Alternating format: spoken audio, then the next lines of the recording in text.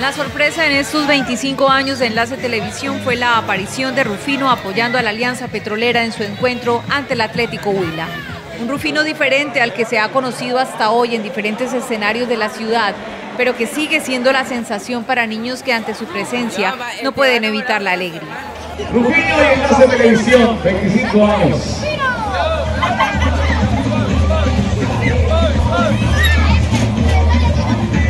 Pesar de que Rufino no es un ejemplo a seguir por su mala actitud como ciudadano, en su mal proceder y actuar, este antihéroe logra el interés de la comunidad y es precisamente por lo que genera en los niños que Enlace Televisión logró que con los mismos mensajes de cultura ciudadana se llegara de manera creativa a la población infantil con Rufitunes y fue tal la acogida de la idea que se decidió materializar y aquí el resultado un rufitún personalizado para abrazar y despertar en los niños y también en adultos la ternura perdida que tiene el original Rufino, sin dejar de lado la verdadera intención de hacer que seamos mejores ciudadanos sin repetir malas acciones que vemos o que podemos estar generando ante la falta de cultura ciudadana.